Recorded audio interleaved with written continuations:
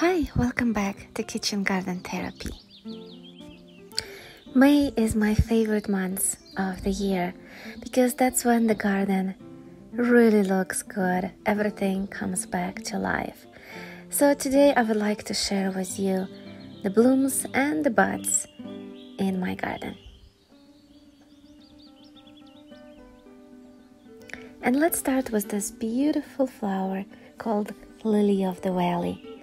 A lot of people are afraid of having it in their yard because it's known to be toxic.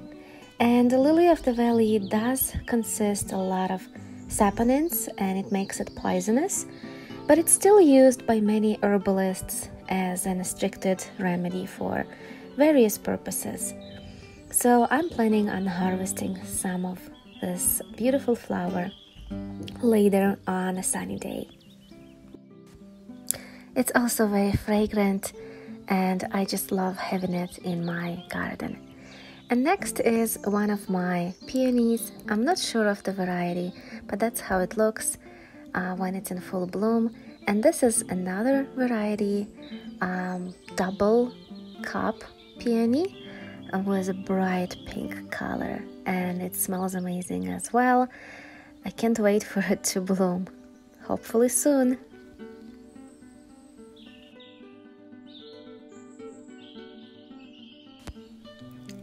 Here is my stubborn clematis trying to climb on my roses.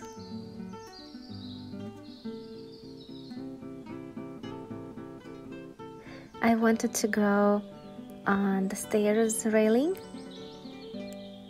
but as you can see it doesn't like it that way it wants to be together with my roses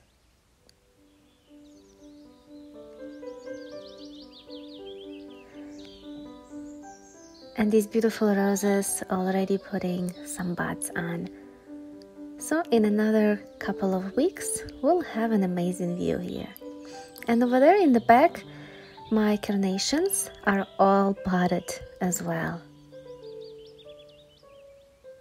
Also my hellebores are still blooming.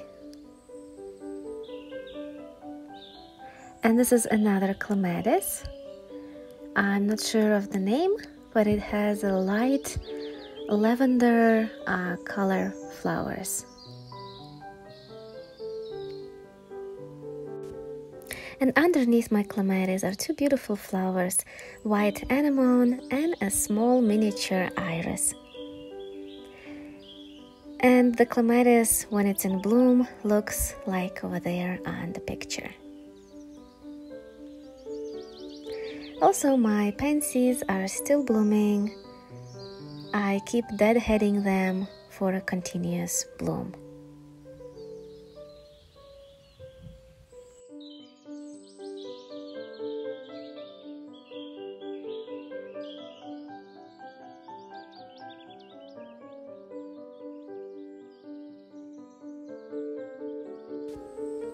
And this is my beautiful pink lupine, which is not only an attractive flower in the garden, but it's also very beneficial as all of the legumes, it is uh, a nitrogen fixer and a soil builder. That's why I love having it in my garden.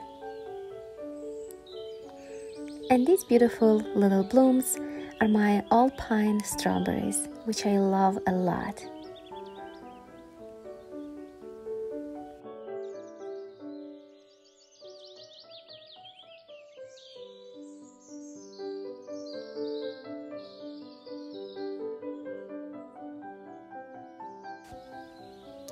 And this is my Schisandra blooming, also known as a five flavor fruit, because its little purple red berries are described as having five tastes sweet, salty, bitter, pungent, and sour.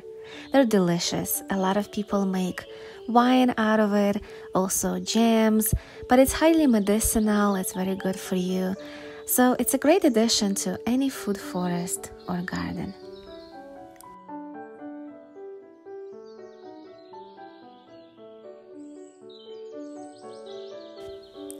Earlier, I showed you how my alpine strawberries are blooming. But these regular strawberries that are growing in hanging baskets are also in bloom. So hopefully in a few weeks we'll have some fruits.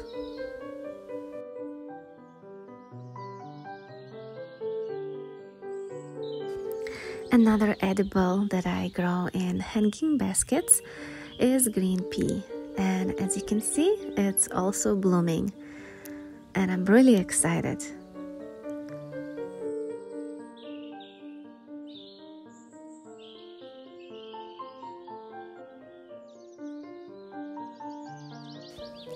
My pink salvia is also blooming right now. And next to it, there is a flower of Jove, both perennials.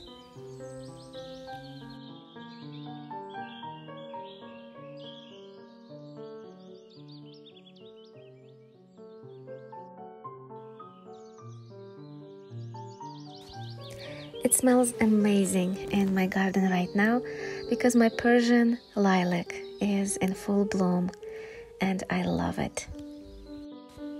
Did you know that lilac flowers are edible? Yes, and you can use lilac flowers to infuse sugar, cocktails, uh, honey, and other things. I usually use lilac flowers in desserts. Last year I made this beautiful cake with lilac flowers. And the last thing I would like to show you is my flowering quince that has these beautiful rose shaped uh, flowers. They look amazing. That's it for now. Thank you for watching. Until next time.